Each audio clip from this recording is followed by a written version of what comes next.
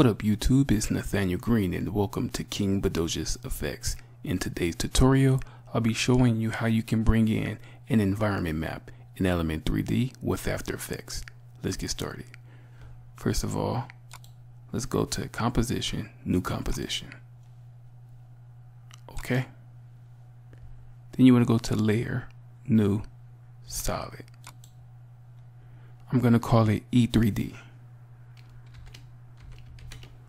Element 3D for short. Click OK. Now we're going to go to Effects, Video Copilot, Element. When you see Scene Setup, click on that. That'll take us inside Element 3D.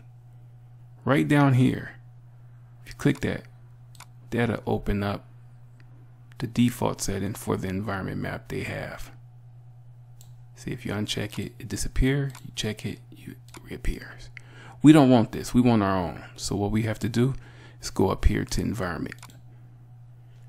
This is what it looked like when it's all stretched out. We click there.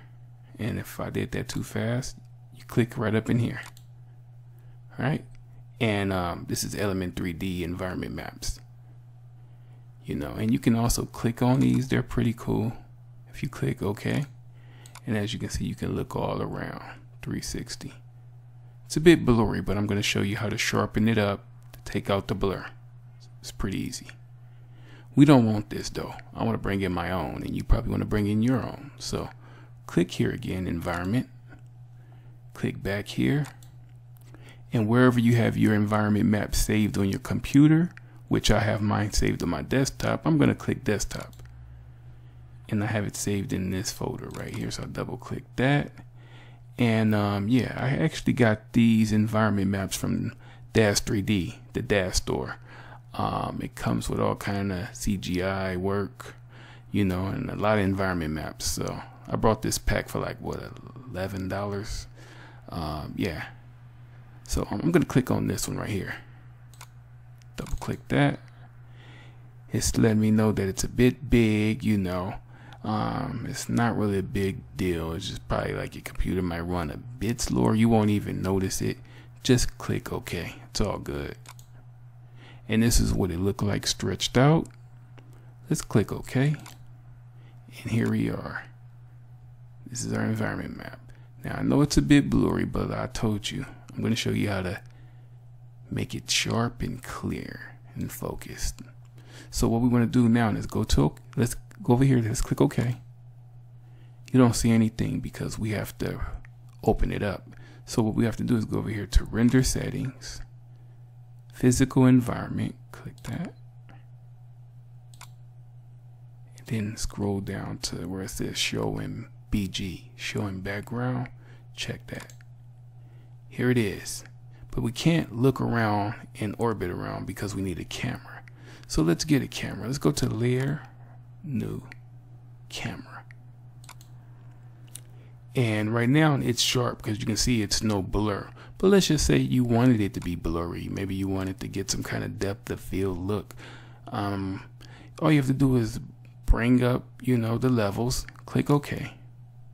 And this, when it's filled up, you'll see, there you go. See, it's blurry. Now you get some green screen of someone on there, key it out, have a blurred background if you're into that, if that's what you're trying to do. I want mine to be sharp. So what I'm going to do is I'm going to go back over here to camera. I'm going to open that up. And where it says camera options, I'm going to open that up. Right here where I have the blur levels, I'm going to click that and drop it all the way down to zero. See? Nice and sharp. Now you can play with the settings to get whatever you're looking for, but this is what I'm looking for, sharpness. I'm also going to open this up because I want to get to start to animate the, the camera. I want to have it kind of orbiting around our environment. So um, I'm going to start highlighting these keyframes. I'm going to let it play to right here. Let's shorten the time duration. And let's right click, trim comp to work area. All right. And let's uh, go up here So where it says orbit camera tool, let's go to the orbit camera.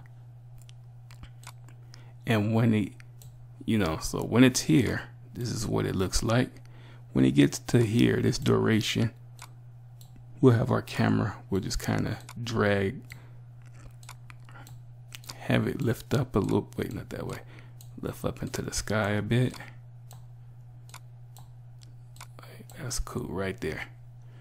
And um, let's keyframe this off. All right, bring it back and let's hit play. That's how easy it is. Also, let me pause this real quick. Also, make sure, I almost forgot, make sure this here is set for full because if it's set for a quarter, it will be a bit, it will be a lot blurry and choppy because it's, it gets like that so you can kind of preview it a lot faster. But once you're done with your previewing, you want to make sure you have it in full. Okay, so just wanted to bring that up. But let's get back to playing this. And that's how easy it is to bring in an environment map inside Element 3D with After Effects. Hope this video was helpful. If it was, comment, like, and subscribe. Also hit that bell at the bottom right of the screen so you could be the first to get these videos when they drop. And um, with that said, I'll see you guys in the next video. Peace.